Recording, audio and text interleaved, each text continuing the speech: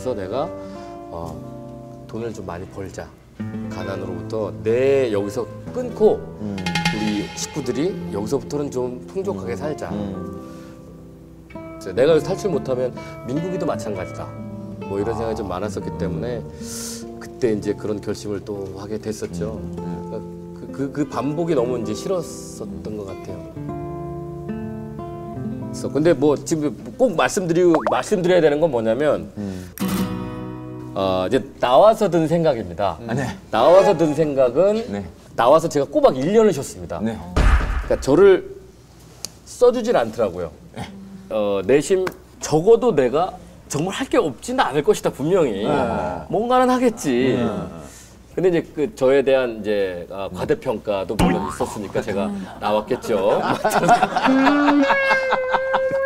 그때 그 당시에 이제 김성주 인터넷 기사 딱 찾아보시면 여기저기서 이제 막 그 방송사 분들의 인터뷰가 나옵니다. 아, 김성주 필요 없다. 김성주 없이도 할 수 있다. 어. 이게 뭐 여기저기서 막 나오면서 어, 저를 안 쓰기 시작합니다. 예. 근데 이제 저는 그때 든 생각이 사람은 그런 것 같아요. 뭔가 나에게 불행한 일이 닥치거나 안 좋은 일이 생기면 그 원인을 본인한테 찾지 않습니다. 그러니까 외부에. 외부에 뭔가가 잘못되어 있기 때문에 내가 이렇게 피해를 보는 거다라고 생각을 하게 되더라고요. 그래서 저도 어, 뭔가 나를 미워하는 사람들 그리고 어, 방송국끼리의 음모 어, 그, 나는 능력이 굉장히 출중한데 이 뭔가 어, 조직적인 음모에 의해서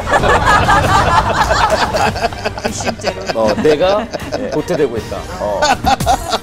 분하다. 하나다. 억울하다. 어. 이거 너무하는 거 아니야? 나 정말 아 내가 거물은 거물이구나. 아, 뭐 예. 이런 생각까지 할 정도로. 그리고 언젠가 나 없이 방송국에 굴러가나 보자. 어. 예. 언젠가는 내가 정말. 어, 발딱 일어서서 이 당시에 나에게 서름을 줬던 사람들에게 어. 응징하리라. 예, 예. 그 마음이 막 분노가 막 예, 시작했어요. 예, 내가 어떤 사람인데, 네, 어땠던 사람인데, 시청률 제조기라는 얘기를 듣던 사람인데. 아. 찾아보세요. 2006년 10월, 11월 막 김성주 씨면 시청률 제조기로 그냥. 네, 네, 네. 예, 예, 예. 네. 네, 그래요. 제조기. 네. 지금은 이제 뭐 웃으면 얘기하지만 아마 마음 고생 심했을 거예요, 그죠?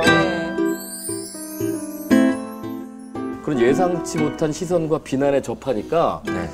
되게 마음이 흔들리더라고요. 아하. 비난이 뭘 했습니까, 기자분들이? 돈 먹으러 갑니까?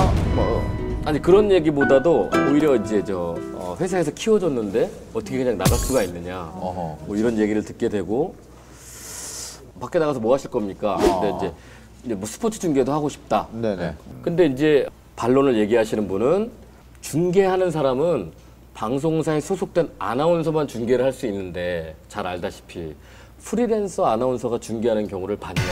캐스터는 스카우트에서 쓰는 저- 전례가 없다. 근데 너는 무슨 생각으로 바깥으로 나가는 거냐? 아, 날카로운 질문이네. 예. 아, 거기에는 제가 아, 답을 못 하겠더라고요. 아, 뭐, 저, 전혀 연락이 안 왔어요? 아, 전혀 뭐. 전혀. 예, 전혀. 전혀 뭐 연락이. 예, 예. 그래서. 아, 제가 그때 성성문을 봤거든요. 네, 야, 네. 연락 안 오디? 예. 연락이 뭐. 그래서- 네. 거의 1년 동안 아무런 연락도 없어요. 1년 동안 방송을 하나도 못했어요. 하나도 못했어요. 그러면서 이제 시간이 지나고, 지나가고. 막 계속해서 이제 제가 잊혀지기 시작하고 길에서 만나는 사람들이 어, 왜 방송 안 나와? 언제 나오는 거야?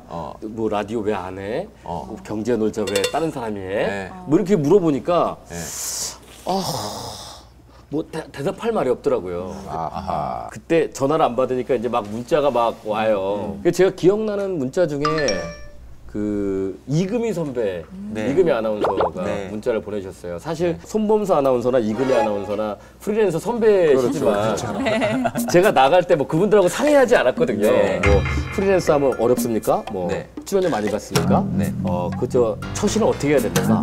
뭐 PD와 미리 제가 접촉해야 됩니까? 뭐 여러 가지 궁금증은 있었지만 왜 상의를 안 했습니까? 솔직히 그분들보다 나은 입장이라고 생각하셨죠? 정답입니다. 정답입니다. 그게 아니고.